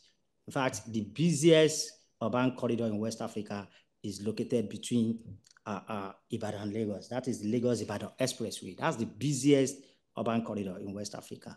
And so if you take Ibadan, uh, uh, the definition uh, in my work uh, is uh, informed by the administrative status of Ibadan on the one hand. Then on the second hand, the functionality and character of the city itself. You know, the economic potentials it offers, um, the mobility of labor, and um, you know the presence of companies, the employment level, and the social factors, and you know in terms of supporting the megapolis, that's Lagos. So I, I don't know. I think I've answered the question. So and then the second one uh, is what is the rationale behind the definition? Why the definition? Yes, the definition is necessary because, like I said, if we uh, uh, if you examine or you do a survey of existing body of knowledge from the OECD, you know, United Nations, and scholarly publications. Uh, what has been the index or the indices for, you know, determining the hierarchy of cities uh, has been the population thing. Yes, well, I mean, it can be divided into two, of course. Some will go for agglomeration, settlement pattern. Then some majority, they go for population. And my argument is that uh, there must be a definition, especially my paper. The, the rationale behind the definition is to say that there is a departure from what exists, you know, I mean, uh, defining intermediate cities based on population, that probably attention should be more on their functionality and characters. You know, we cannot, population cannot be sacrosanct there are cities that are more than the benchmark in terms of population, okay, and that are doing practically well. They are, I mean, supporting their environment in terms of environmental sustainability, in terms of economic potentials. They are, they are, they are supporting other capital cities. And so then we have cities that are below in terms of population and that are also performing the same functions. So if that be the case, we can have can be talking of absolute intermediate cities and relative intermediate cities. You have relative intermediate cities when you factor the functionality, the economic potential a city offers, the employment opportunities, sustainable development, you know, and then you have absolute if you want to make it just population.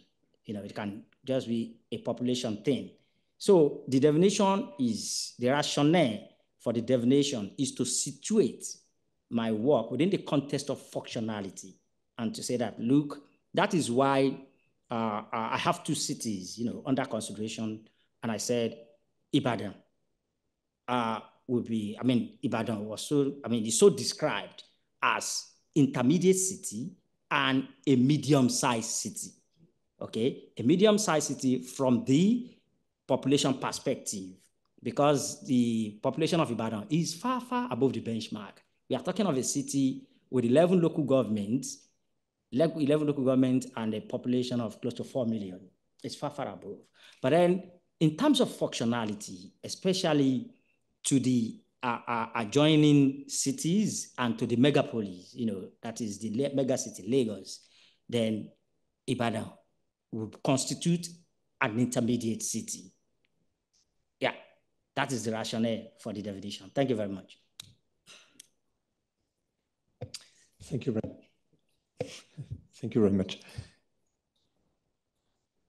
OK. Oui, s'il vous plaît, j'ai levé la main, je peux oui, oui, allez-y, allez-y, allez-y. D'accord. D'accord, merci beaucoup. Je crois qu'il y a une question qui a été posée sur la mobilisation des ressources.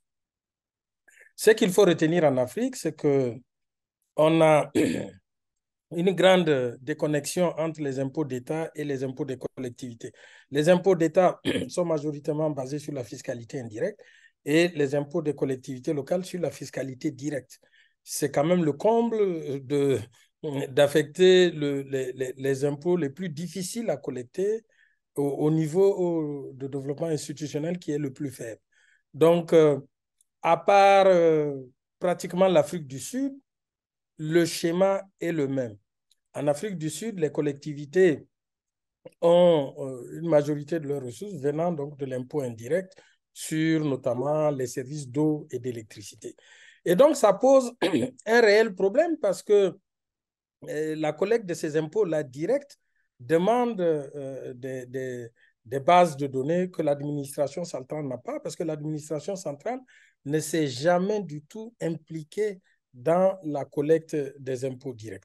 Alors, ce qui se développe, c'est des contrats entre l'administration des impôts et les collectivités territoriales pour permettre justement euh, non seulement de mieux identifier les contribuables, mais euh, de collecter un peu plus de données. Il faut savoir qu'au niveau de ces villes intermédiaires, la moitié des ressources du budget viennent de ce qu'on appelle les impôts non enrôlés. Donc, les impôts non enrôlés, c'est toutes les taxes de marché sur le secteur informel, l'utilisation du domaine public, etc. Et ça, c'est très important. Alors, ce qui se passe aujourd'hui de plus en plus avec les maires, c'est digitaliser euh, la collecte de ces ressources-là pour éviter qu'il y ait, je dirais, euh, euh, des collecteurs qui collectent des, des, ressources en physique et qui sont enclins à les mettre vers d'autres destinations. Donc ça, c'est très important. En, outre, puisqu'on a parlé aussi des politiques publiques, euh, fait, du, dialogue politique euh, sur la fiscalité, il est important dans pas mal de pays de sanctuariser le champ fiscal propre des villes. Hein, vous avez des, notions souvent qui sont euh, je dirais, un peu malsaine, entre guillemets, quand on parle d'impôts rétrocédés. On a vu, donc, pour ce type d'impôts-là, l'État a changé du jour au lendemain les règles de partage entre elles et les collectivités territoriales. Prenez par exemple le cas de la Côte d'Ivoire, où il n'y a pratiquement pas d'impôts locaux, il n'y a pas un champ fiscal sanctuarisé propres aux collectivités territoriales. Et ça, c'est vraiment un aspect important. Ce dialogue politique se mène aussi au niveau des institutions d'intégration régionale. Juste un exemple. Il suffit qu'au niveau d'une institution d'intégration régionale, on mette comme critère de convergence en matière de, de, mobilisation de ressources les impôts d'État pour tuer les impôts des collectivités territoriales. Ça veut dire tout simplement pour l'administration des impôts que la collecte des impôts locaux n'est pas prioritaire. Et donc, nous, avons nous, nous, sommes arrivés effectivement à changer cette notion-là, par exemple, au niveau de l'UMOA, où désormais les critères de convergence, dans les critères de convergence, celles qui concernent la, le taux de prélèvement, on y met euh, euh, les, produits des impôts locaux pour justement permettre à l'administration d'État d'avoir en tête que euh, les impôts de, de, de collectivités locales sont aussi prioritaires que, que, que, les impôts, que les impôts locaux. Donc voilà un peu peut-être ce que je peux dire par rapport à, à, cette question de la fiscalité. Merci beaucoup. On va passer la parole à Margarita, puis je pense qu'après, voilà, il sera le temps de, de conclure. Um, C'était pas pour moi, mais je voulais dire, juste intervenir sur le dernier débat sur les finances. Euh, dans notre dernier rapport, on a longuement utilisé les données de, de l'Observatoire des finances et de l'investissement, SNG WOFI, qui récolte toutes les données d'investissement par catégorie des euh, 43 euh, pays africains. Et ce n'est pas historique, donc on ne sait pas s'il y a une, une amélioration. Mais un, un, élément de réflexion qu'on a porté dans le rapport, c'est de dire est-ce qu'il faut vraiment qu'on attende que les, collectivités territoriales soient en mesure de collecter les ressources propres pour leur allouer des, des, ressources pour construire, euh, pour faire face à la croissance démographique? Parce qu'effectivement, même si on regarde euh, la structure de taxation de, des pays comme l'Italie ou la France, etc., c'est pas... Euh, en fait, les, collectivités territoriales, par un principe de péréquation, sont le plus souvent euh, euh, financé par, le transfert. Du coup, le transfert, euh, je, suis d'accord que les ressources propres doivent être protégées, sanctuarisées et directement liées au, au, au, gouvernement locaux, mais ces ressources ne doivent pas nécessairement venir d'une imposition directe, justement si on, on fait un peu un état des lieux de, l'environnement institutionnel, comme CGLU Afrique a pu le faire avec, avec les ratings. Du coup, le transfert, euh, pour nous, ça doit être principalement deux, deux, éléments pour que ce soit efficace. Ça doit être euh, prévisible, pardon. Et ça doit être euh, transparent. transparent parce que si on ne sait pas combien le gouvernement central donne à la, à la collectivité locale, l'argent disparaît et personne n'en sait rien. Et en même temps, il y a énormément de, recherches qui sont faites là-dedans qui démontrent que si c'est Ici, si la donnée de combien d'argent est passé au gouvernement local, euh, tout ce qui est euh, et euh, finalement l'argent va effectivement là où il devait aller. Et deuxièmement, la prévisibilité, si un jour la collectivité locale reçoit euh, deux et le jour d'après la collectivité reçoit un, c'est impossible d'emprunter sur le long terme, c'est impossible de faire d'investissement sur le capital. Et, mais à nouveau, juste pour dire que les transferts, à mon avis, c'est parfois un peu diabolisé alors que c'est vraiment une ressource essentielle dans énormément d'États et surtout dans un contexte où on n'a pas les ressources humaines ou techniques pour le lever d'un point de vue local. Ça, ça, doit, ça doit être euh, un, sujet de débat parce que sinon, ce serait aussi trop facile au niveau de gouvernements locaux, de, enfin, de gouvernement euh, central, de dire bah, euh, tous, les, tous les impôts indirects pour vous, nous, nous, on essaie de faire notre mieux et ça va prendre, ça va prendre du temps et les investissements doivent être faits maintenant. Et là, deuxièmement, pour, euh, pour la conversation sur la classification, même au niveau, je pense que c'est Léna et Karen qui ont soulevé la question. Il y a tout un débat sur quelle, quelle, est la définition même pour urbain ou rural, effectivement. Et c'est très compliqué de savoir si on, si, on, passe à côté d'énormément de, euh, changements géographiques par rapport euh, à rural-urban linkages qui ont été mentionnés. Euh, nous, on décide de très arbitrairement mettre la définition sur 10 000 habitants. Mais par exemple, il y a énormément de, chercheurs, dont un qui était au club Jean-Marie Cour, qui voulait absolument que ce soit 5 000, mais on peut descendre à toute échelle. Et au bout d'un moment, il y a aussi que pour un, contexte de recherche, euh, décider arbitrairement euh, des, classifications, c'est très utile, euh, comme cela a été dit, pour se comparer, pour avoir un retour avec la recherche déjà publiée. Et c'est tout à fait arbitraire, c'est vrai, mais parfois c'est très utile. Et après, c'est pour ça que je pense que c'est très, très, très nécessaire de publier les, données désagrégées, parce que chaque acteur aura intérêt à, déterminer la classification selon que euh, il travaille, je sais pas, dans le, dans le privé, sur des conduites d'eau plutôt que sur l'électricité, parce que les coûts vont varier euh, différemment selon les catégories de villes euh, pour l'un et pour l'autre. Et je, mentionne ces deux-là parce que, par, on sait, en analysant les données de qui télécharge les données Africapolis, que plus d'un quart, c'est des, des entreprises privées qui cherchent à prioriser eux aussi leur investissement, leur euh, et, nous, on, donne euh, la donnée brute, on va dire, de la, de la démographie.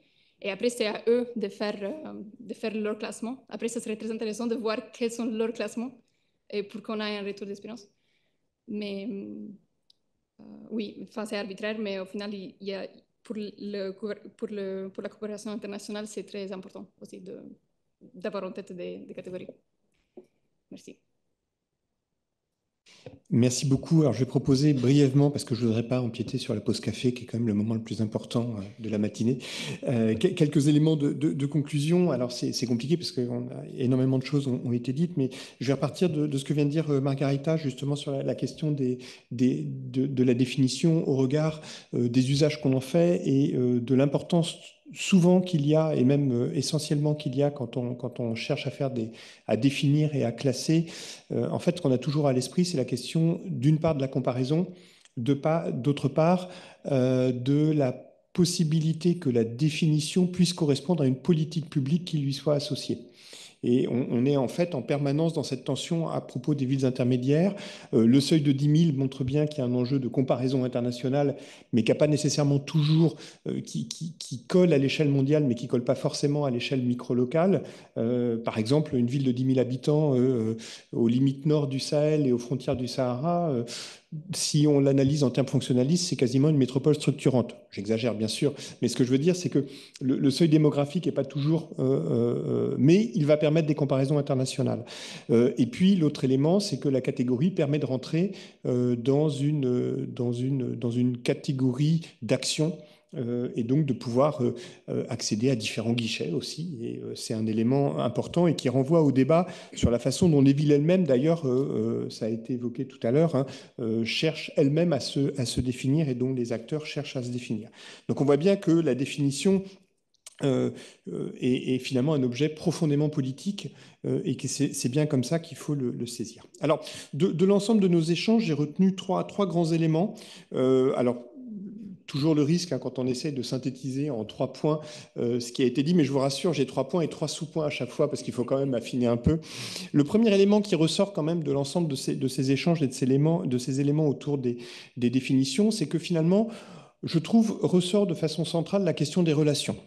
Euh, la question des relations, euh, on l'a évoqué et ça a été évoqué en, en, montrant quelle est l'importance aussi euh, comprises ces villes intermédiaires en tant que telles dans les agendas internationaux, euh, jusqu'à euh, la conférence Africité de Kisumu qui le montre parfaitement, puisque justement l'enjeu c'est l'articulation des villes intermédiaires à l'agenda 2063, Union africaine, et à l'agenda 2030, UN. On voit bien finalement comment est-ce qu'on s'articule à des échelles, à des échelles internationales et combien finalement cette définition est un, un enjeu à ce niveau-là. Mais le deuxième élément aussi que l'on a pu voir, euh, c'est la place que ces villes intermédiaires prennent dans la définition de stratégies de, développement euh, et qui vont poser la question des différents acteurs qui les portent. Articulation entre l'État, articulation quand ils existent avec les États fédérés ou avec les provinces ou avec les régions ou avec les départements. Je vais pas faire la liste de toutes les collectivités territoriales et bien évidemment les municipalités ou ce qui, en, ce qui en tient lieu. Et bien sûr, la question centrale qui se pose ici est celle de l'articulation entre tout ça. À un moment donné a été évoquée la question entre décentralisation et déconcentration. On est effectivement au cœur de cette question de, de relation et donc au cœur de la définition de ce qu'est une ville intermédiaire dans, dans ce dispositif. Et puis, toujours pour creuser sur cette question des relations, il y a la question des relations que je qualifierais fonctionnelles avec deux pôles, je vais être extrêmement caricatural. D'une part, ce que l'on a bien vu, et on l'a très bien vu avec l'exemple nigérian, on ne peut finalement pas définir les villes intermédiaires indépendamment de la métropole, mégapole, pourquoi pas mégalopole structurante qu'est l'égos et à laquelle il est sans cesse fait relation. Euh, mais on l'a vu, à l'autre spectre euh, se pose la question, et ça a été évoqué notamment du point de vue de l'AFD, de la question de l'articulation dans le cadre des relations ville-campagne et de la difficulté peut-être de définir cette fois-ci le le seuil bas de la ville intermédiaire. Mais que ce soit dans un sens ou dans l'autre, finalement, ce qui est central, c'est toujours la fonction que l'on va attribuer à cette ville intermédiaire. Et finalement, on n'a plus besoin de seuil démographique parce qu'une ville intermédiaire euh, pourrait avoir 2000 habitants et jouer ce rôle-là, tout comme elle peut en avoir 3 euh, millions euh, dans le cas d'Ibadan. Alors bien sûr, pas de la même façon, hein, on est bien d'accord, mais euh, on, est dans cette logique-là. Donc c'est un, voilà, un premier ensemble d'éléments. Le deuxième élément qui m'a semblé revenir, c'est une question autour de, la question des, temporalités. Euh, j'ai trouvé très intéressant que la question euh, coloniale et que l'héritage finalement des catégories coloniales et des structures administratives coloniales ait été évoqué, parce que si on raisonne en termes de réseau urbain, euh, on, voit bien qu'il y a eu ici, euh, qu'il y a aussi des, héritages dont il faut tenir compte. Euh, je veux dire, les chefs-lieux de cercle continuent finalement à marquer de leur empreinte finalement la structuration d'un certain nombre de territoires et des déséquilibres dans l'organisation des, réseaux urbains hérités de la colonisation ne sont pas, loin s'en faut, corrigés. et c'est effectivement intéressant de revenir dans cette, dans cette histoire longue. Ce qui est intéressant aussi, c'est que cette histoire longue se télescope avec une histoire de l'Afrique ancienne, c'est-à-dire antérieure à la colonisation, où existaient également des réseaux, des hiérarchies, et où des villes ont pu voir leur statut changer, passer de ville principale à ville secondaire ou ville intermédiaire. Mais c'est intéressant parce que historiquement, elles ont aussi euh, la force des relations avec les territoires qui sont euh, celles de leur ancien statut. C'est particulièrement net au Nigeria, c'est particulièrement net au Ghana, si on prend le cas de la ville de Kumasi par exemple. Euh, et puis, bon, je ne vais pas multiplier les exemples, hein, mais on peut prendre aussi des, exemples similaires au Mali par exemple. Euh, le deuxième élément, parce qu'on ne va pas s'en tenir à cette histoire longue, on va revenir sur des temporalités plus proches. Une temporalité plus proche qui a été évoquée et qui a pris beaucoup plus d'importance euh, que cette temporalité historique, c'est celle des rythmes de croissance euh, des populations. Et on voit bien ici combien l'enjeu démographique est un enjeu majeur à prendre en considération parce que justement, la rapidité avec laquelle euh, ces villes croissent pose la question justement de la façon dont on peut appréhender, et ça concerne directement les politiques de développement j'aime pas beaucoup cette appellation, mais euh, en tout cas qui implique qu'on ait une réflexion prospective. Et euh, on voit bien ces villes intermédiaires, et on l'a vu notamment, et c'est la richesse des données euh, de, du Club du Sahel et de l'Afrique de l'Ouest, d'essayer de construire justement une réflexion sur le temps long, sur les rythmes de croissance, sur les, les, les, les, rapports. Et ce qui est intéressant, c'est que si on voit bien que la part des populations évolue, la part en termes de nombre d'établissements urbains, finalement, évolue pas tant que ça. Et euh, ça pose des, questions euh, sur la façon dont, on va appréhender ça. Et puisqu'on parle de prospective, bah, évidemment, on va forcément être obligé de parler à un moment donné de planification. Et c'est là aussi une question qui a été évoquée. Comment est-ce qu'on appréhende la, planification de, ces villes? Je ne vais pas rentrer dans cette énorme boîte noire parce qu'on en aurait pour la journée, mais euh, juste l'évoquer parce que finalement, ça, participe aussi de, la définition. Comment définir des villes euh, dont les enjeux de planification euh, sont particulièrement forts. Et donc j'en viens à mon troisième point, on va, bientôt finir, je vous rassure, euh, qui sont finalement à partir de ces éléments de, réflexion autour de, des définitions de ces villes intermédiaires par les relations, par les temporalités, on va venir à ce qui les définit aussi, ce sont les défis auxquels elles sont confrontées. Euh, et ces défis, là encore, j'en ai identifié trois ou du moins trois grandes familles de défis, mais ça n'a pas vocation à l'exhaustivité. L'idée, c'est de, susciter la, discussion et, le débat. Le premier, c'est celui de la durabilité qui a été évoqué. avec une position que j'ai trouvée assez optimiste, de dire que justement c'est peut-être le lieu idéal pour, pour impulser finalement des dynamiques de durabilité dans la planification. Euh, au regard de tout ce qui a été dit sur les difficultés de financement, sur les, manques de moyens et en ressources humaines, etc., euh, on peut parfois en douter et on a des exemples où on montre bien que finalement les problèmes de durabilité ne sont pas nécessairement liés à, la taille, à la taille des villes, ne serait-ce qu'autour d'un enjeu majeur qu'est la collecte des déchets, par exemple, hein, ou, la capacité d'une collectivité locale euh, qui a peu de moyens à, avoir finalement un, dispositif spécifique de collecte des déchets euh, et, pas, et pas toujours euh, particulièrement euh, possible. Bon, je ne vais pas trop développer cette question de durabilité parce que de recherche, comme pour la planification, on pourrait y passer des heures. Le deuxième point que j'identifiais, c'était la question de, la viabilité économique, de la question de l'emploi, de la question, et le secteur privé a été évoqué un instant, de l'attractivité de ces villes pour les investissements. Euh, ce qui est un, enjeu majeur.